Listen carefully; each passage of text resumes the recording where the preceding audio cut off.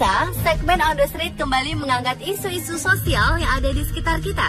Kali ini kita membahas maraknya jumlah penyandang masalah kesejahteraan sosial atau PMKS, yang salah satunya adalah pengemis.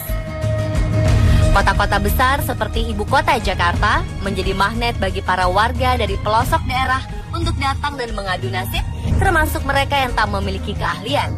Akhirnya sebagian besar dari mereka hidup di jalanan menjadi pengemis. Sayangnya orang-orang yang dinilai masih mampu dan kuat untuk bekerja pun banyak yang lebih memilih untuk mengemis karena mereka bisa mendapatkan uang yang tidak sedikit dari hasil meminta-minta. Orang-orang seperti inilah yang menjadi PR bagi pemerintah. Razia dilakukan berkali-kali untuk mengurangi jumlah pengemis dan diberi pengarahan oleh dinas sosial untuk bekerja, terutama bagi mereka yang masih memiliki kemampuan secara fisik. Berdasarkan data dari Dinas Sosial Provinsi DKI Jakarta, ribuan penyandang masalah kesejahteraan sosial atau PMKS terjaring operasi penertiban yang dilakukan setiap tahunnya. Meski pemerintah daerah mengklaim telah melakukan berbagai cara untuk menangani masalah PMKS, jumlah ini cenderung naik setiap tahunnya. Dibandingkan 15 jenis PMKS yang lain, jumlah pengemis selalu berada di peringkat tiga besar. Lalu bagaimana dengan respon masyarakat sendiri di lapangan? Apakah mereka masih banyak yang memberi uang pada pengemis? Lalu bagaimana dengan orang-orang yang lebih memilih untuk bekerja atau berusaha daripada mengemis? Seperti misalnya berjualan, akankah mereka mendapatkan respon yang banyak dari masyarakat? Tim On The Spot mencoba membuktikannya dengan menaruh dua agen ibu-ibu tua yang keduanya sama-sama ingin mencari nafkah di jalanan. Di mana satu ibu tua menjadi pengemis dan satu lagi berjualan di beberapa titik lokasi dengan karakter orang yang berbeda. Di antaranya ada kalangan mahasiswa, karyawan, dan masyarakat umum. Lokasi pertama adalah kawasan kampus. Ibu tua pengemis mulai berjalan menyusuri kantin dan menunjukkan wajah memelasnya untuk meminta sedekah. Hasilnya ada beberapa pemilik kantin dan warung memberikannya uang. Bu, baca sedekahnya, Bu.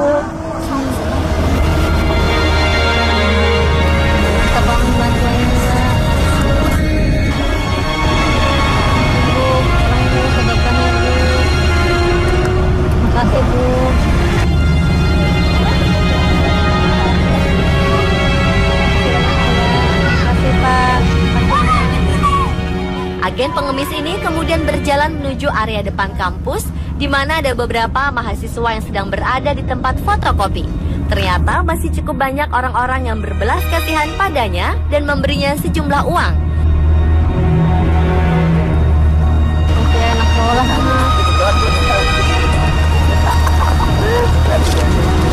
sama.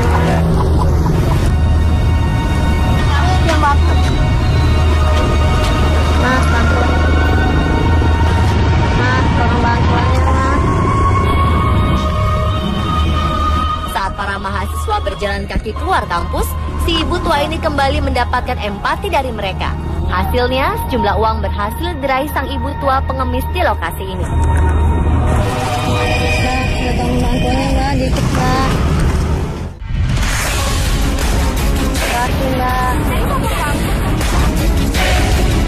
Lalu bagaimana dengan ibu tua yang melakukan usaha untuk berjualan? Apakah ia mendapatkan perhatian dan empati dari para mahasiswa? Di lokasi yang sama, agen ibu tua yang berjualan tisu dan mulai berjalan menyusuri kantin-kantin di sekitar kampus. Awalnya tidak ada yang peduli dengan si ibu tua. Namun beberapa saat kemudian mulai ada orang-orang yang mau membeli tisu jualannya si ibu tua. Ada yang beli karena memang perlu, tak jarang juga orang yang beli karena kasihan ingin membantu si ibu tua. Beberapa rela membayar lebih dari harga yang ditawarkan si ibu tua.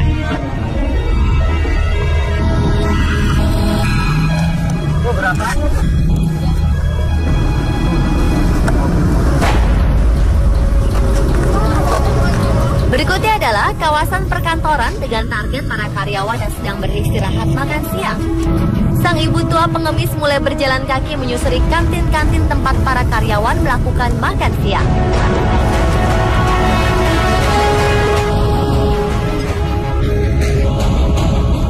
Dengan kawasan kampus tadi, di sini orang-orang terlihat sangat sibuk dengan kegiatannya masing-masing.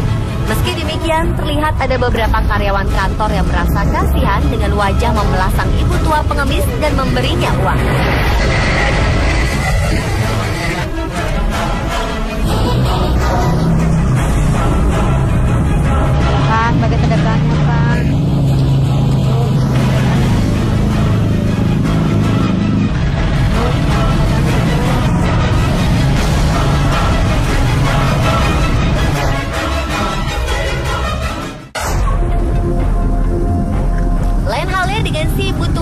Tua penjual tisu. Di lokasi tempat makan siang para karyawan ini, meski tak begitu banyak yang memberi respon pada si ibu tua saat dia berjualan sekitar tempat makan para karyawan ini, ada dua tiga orang yang akhirnya membeli barang dagangan si ibu tua ini.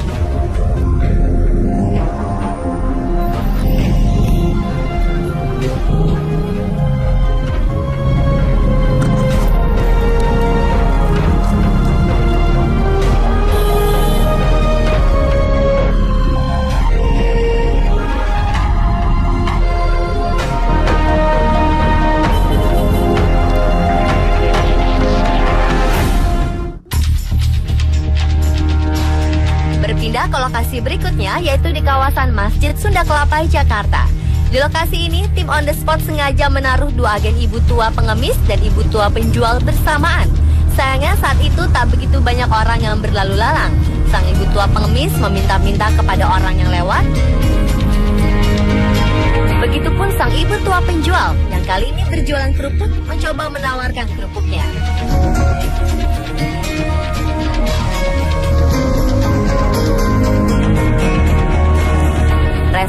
Pertama, ada pria yang terlebih dahulu memberi kepada si ibu tua pengemis, lalu ia membeli kerupuk si ibu tua.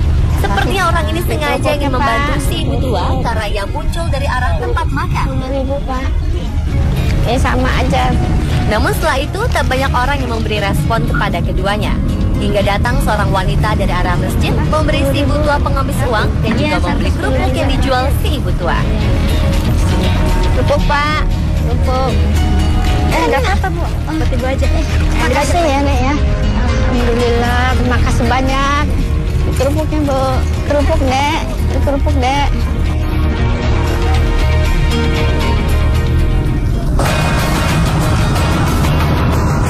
Lokasi terakhir adalah di kawasan stasiun Manggarai, di mana banyak orang berlalu lalang keluar masuk menuju pintu stasiun. Di lokasi ini, tim on the spot ingin mengetahui sejauh apa reaksi masyarakat terhadap si ibu tua pengemis dan ibu tua yang mencari nafkah dengan menjual kerupuk. Yang pertama kali mendapatkan respon adalah si ibu tua pengemis. Hmm, nampaknya si ibu tua pengemis ini lebih banyak mendapat perhatian daripada ibu tua yang menjual kerupuk. Ibu tua penjual kerupuk terlihat sedih karena belum berhasil menjual satupun kerupuknya.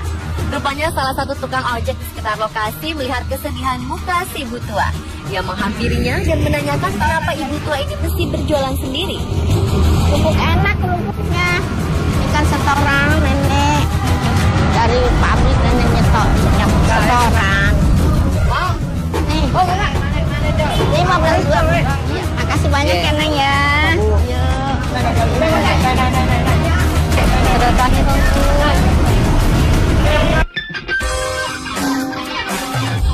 Dari keempat lokasi, ternyata kampus merupakan tempat yang paling banyak memberikan respon. Para mahasiswa banyak yang merasa terbuka hatinya, baik pada si ibu tua penjual tisu maupun si ibu tua pengemis. Di lokasi perkantoran tempat makan siang, jumlah orang yang merespon tidak sebanyak di kawasan kampus.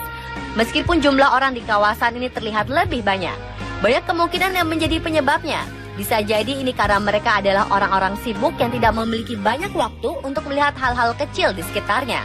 Atau ada juga lebih memilih untuk tidak membiasakan diri memberi pada orang-orang yang mengemis. Di lokasi masjid, kedua ibu tua ini mendapatkan respon yang seimbang dari orang yang berempati pada mereka.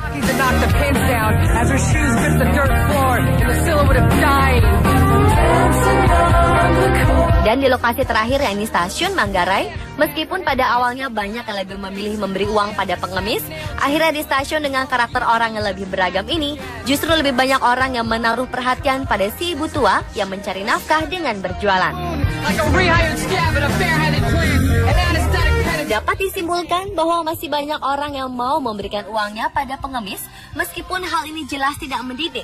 Dan jangan salah pula, banyak pula orang yang di antaranya peduli dan menghargai si butua yang mencari nafkah dengan cara yang lebih mulia, yakni dengan berjualan.